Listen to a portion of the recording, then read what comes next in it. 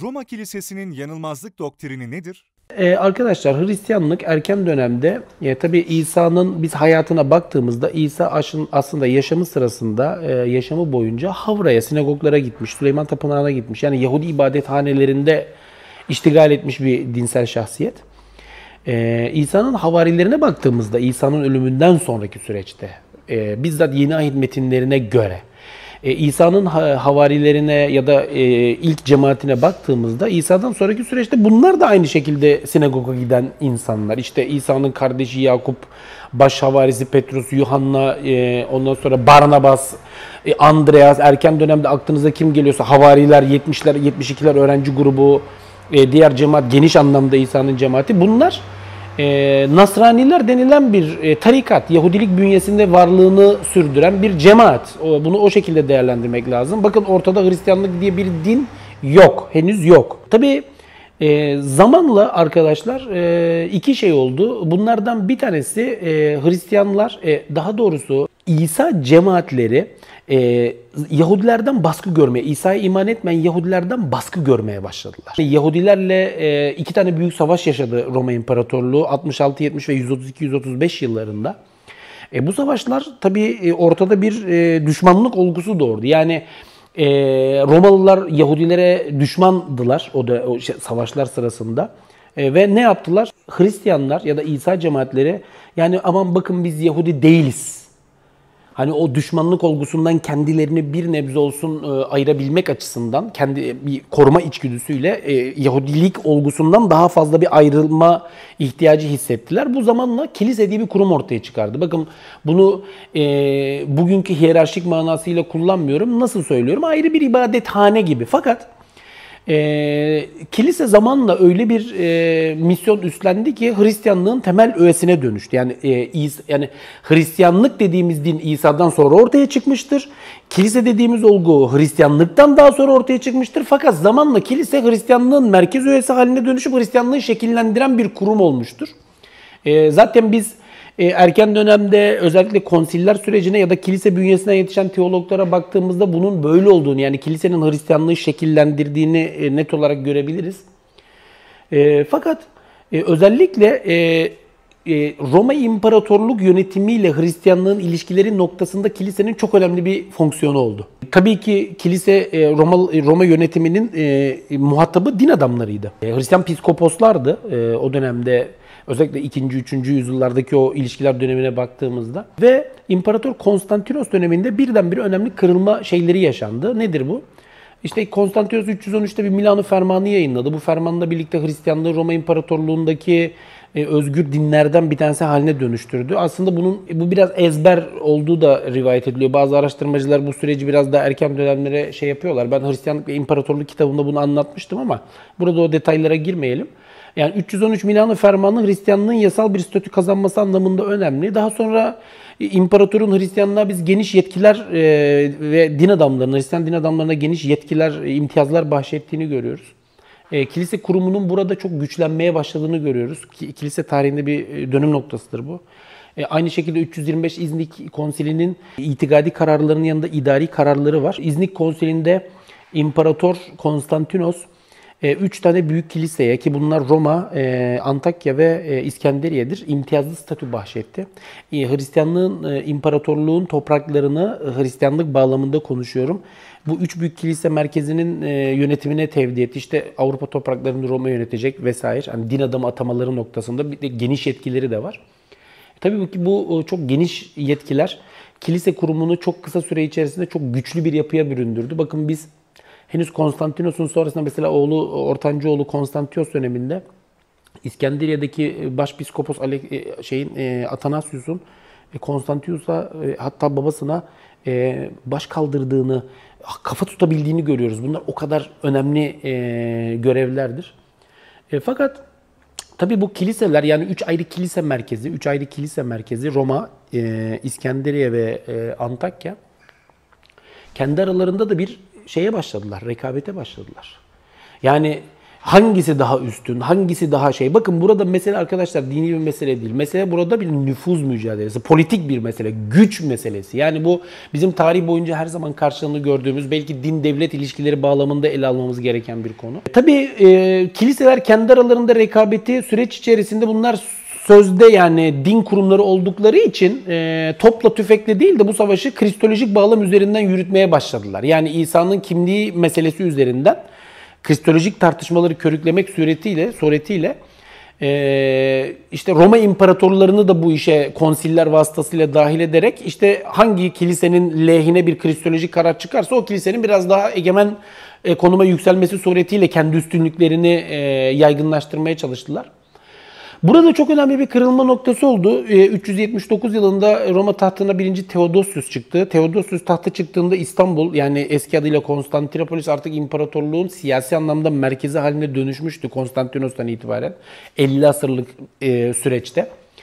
E, fakat Theodosius e, kendi başpiskoposunu, kendi şehrinin, yaşadığı şehrin başpiskoposunu yani İstanbul'un, İstanbul Kilisesi'nin statüsünü e, diğer üç kilise ile aynı şeye hatta daha da onların üzerinde bir noktaya taşımaya şey yaptı. 381 e, yılındaki İstanbul Konsili'nde e, yeni Roma olduğu söylemi üzerinden İstanbul'u ki şeyde konsil tutanaklarında bu bu şekilde geçiyor. Yani İstanbul diyor yeni Roma'dır. Dolayısıyla diyor İstanbul Kilisesi'nin statüsü Antakya ve İskenderiye kiliselerinin üzerinde bir şeye kavuşturulacaktır. E, tabii bu diğer kiliseler tarafından kabul edilmedi. İşte o günkü koşullarda zoraki de olsa e, başpiskoposları biraz e, işin doğrusu zor altında, şiddet altında imzalamak durumunda kaldılar bu şeyi. Yani bu kilise arası rekabet İstanbul Kilisesi'nin de iştirakiyle artık iş, iyice çığırından çıktı. Bu süreç bundan sonraki süreçte devam edecektir. Yani bu tartışma, bu kiliselerin kendi arasındaki nüfuz mücadeleleri, güç, otorite mücadeleleri bundan sonraki süreçte zaten daha da artarak devam edecektir. E, nitekim imparatorluk yönetimi 451 yılında Kadıköy'de topladığı konsilde bu tartışmaları artık bir önünü alabilmenin ve İstanbul Kilisesi'ni e, bütün kiliselerin üzerinde bir e, statüde e, bütün Hristiyan dünyaya kabul ettirebilmenin bir arayışıdır aslında Kadıköy Konsili bana sorarsanız idari bağlamıyla ifade ediyorum. Yani kiliselerin arasındaki bu tartışmalarda e, din adamları bir takım argümanlar üzerinden kendi üstünlüklerini ileri sürmeye çalışıyorlardı. Neydi bu argümanların temeli? Apostolik köken. Apostolos'tan geliyor. Havari, apostolos. Yani apostolik köken demek bir kilisenin İsa'nın havarilerinden bir tanesi tarafından kurulmuş olması durumunu ifade eden bir kavramdır. Şimdi kiliseler şunu söylüyorlardı. İşte efendim beni havari şu kurdu. Beni havari bu kurdu. Beni bakın Hristiyan dünyasına bugün bakın. En batıdakinden en doğudaki ta Hindistan'daki kiliseye kadar. Hindistan'daki kilisede diyor ki bizi Havari Thomas kurdu mesela.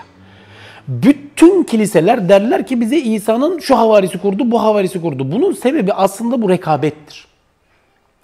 Roma kilisesi, şimdi tabi bu rekabet artık e, yani her kiliseye, e, bütün kiliseler e, kendileri hakkında böyle bir iddiada bulununca, üstünlük iddiasında bulununca ee, Roma Kilisesi Roma yönetiminin siyasi kararına karşı bir şey e, alma ihtiyacı hissetti. Yani bu tartışmanın background'unda aslında şöyle bir bağlam var. Biraz önce de ifade ettiğim gibi. Kiliselerin her biri kendi üstünlüklerini iddia ediyorlar. İmparator Theodosius burada siyasi bağlamı ön planda tutarak İstanbul'un yeni Roma olduğu söylemi üzerinden İstanbul Kilisesi'ni diğer kiliselerin ya da en azından İskenderiye ve Antakya'nın daha üzerinde bir konuma, e, statüye e, yükseltmeye çalışıyor. Bakın dikkatinizi çekiyorum. Kiliseler buna cevaben apostoliklik iddiasında bulunuyorlar. Bu ne demek? Yani efendim bizim üstünlüğümüz e, şeye dayanmıyor. Yani imparatorluk yönetiminin siyasi bir kararına dayanmıyor. Beni havari şu kurdu, beni havari bu kurdu. Ki arkadaşlar yani şunu ifade edeyim. Erken Hristiyanlık tarihini çalışan bir e, akademisyen olarak İsa'nın hiçbir havarisi hiçbir kilise kurmamıştır. Bugünkü manada. Çok net. Kiliseler, yani bugünkü anlamıyla kiliseler çok sonraki dönemin şeyleridir. E, fakat Roma Kilisesi orada bir söylem geliştirdi. Dedi ki e, en üstün kilise biziz. Neden? Çünkü bizi İsa'nın baş havarisi Petrus kurdu. Bakın Petrus otoritesi erken Hristiyanlık tarihi bağlamında konuşuyorum. Otoritesi tartışılmayacak bir adam.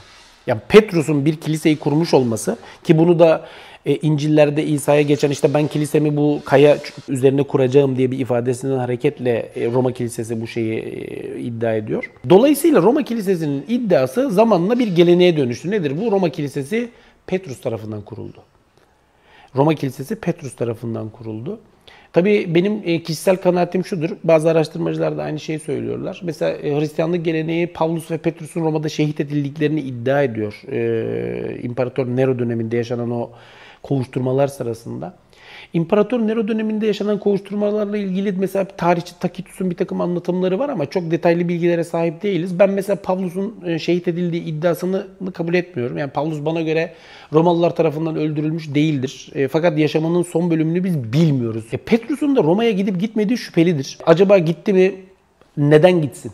Yani Petrus İsa'nın bir havarisi olarak e, o cemaatin oradaki en önde gelen figürlerinden bir tanesi olarak Roma'ya gitti mi gitmedi mi? Bana sorarsanız gitmemiş olma ihtimali daha yüksek. Bu bir. iki Gitmişse bile kesin olarak bugünkü gibi bir kilise kurmamıştır. Bakın burası kesindir. E, üçüncüsü gitmişse bile bazı erken dönem Hristiyan kaynaklarına göre e, Petrus'un e, ziyaretlerinin arka planında yatan gerçek Pavlus tarafından bozulmuş olan Pavlus tarafından bozulmuş olan e, İsa'nın özgün öğretilerini orijinal şekline avdet ettirme ihtiyacıdır. E, dolayısıyla biz e, Roma Kilisesi'nin kendi kuruluş söylemini Petrus üzerine inşa eden bu şeyinin e, çok da doğru olmadığı kanaatindeyim ben. Yani Petrus'un bugünkü bir kilise kurduğu e, söylemi bana göre doğruyu, e, hakikati, tarihsel bağlamı anlamında söylüyorum, yansıtmamaktadır. E, papalar da bunun sonrasındaki süreçte yanılmazlık iddiasında bulunmuşlardır. Ne söylerlerse söylesinler bunun doğru olduğu. İşte yani kendi otoritelerini diğer kiliselerin daha üzerinde bir noktada şey yapabilmek anlamında bunu şey yaptılar. Bazı Roma imparatorları da işin doğrusu özellikle siyasi anlamda e, hassas dönemlerde bu iddiayı kabul ettiler. E, tarihsel süreç içerisinde e, bu bir geleneğe dönüştü. Fakat Tabii e, Avrupa'da arkadaşlar 17. 18. yüzyıllarda belki biraz daha erken dönemde çok önemli dönüşümler yaşandı. Yani Avrupa'da e, kilisenin e, özellikle Roma kilisesinin e, bu üstünlük iddialarını, bu yanılmazlık nazariyelerini, kutsal kitaba dair e, şeylerini sorgulayan nesiller yetişti. Özellikle bu coğrafi keşifler, aydınlanma dönemi e, ve sanayi devrimi tabii birçok olgu üzerine durulabilir. Tabii aydınlanma döneminin yeri ayrıdır. E, bu dönemde biz batıda birçok ateist, birçok deist, özellikle birçok protestan araştırmacının e, bu yanılmazlık nazariyesini tartışmaya açtıklarını görüyoruz. E, bugün tarihsel anlamıyla bakıldığında tabii ki bunun bir karşılığında olmadığı bugün artık açıktır yani yanılmazlık nazariyesinin. Ancak yani dini bir olgu olarak işte samimi Hristiyanların bazılarının en azından Roma Kilisesi Katolik Katolik şeyi itibariyle e, bu görüşe taraftar olmayı sürdürdüklerini e, da söyleyebiliriz. Ama tarihsel bağlamı itibariyle şey yapıldığında bu iddia yani Papa'nın yanılmazlık nazariyesi tamamıyla politik bir e, argümandır, politik bir söylemdir. Bunları ifade edebilirim.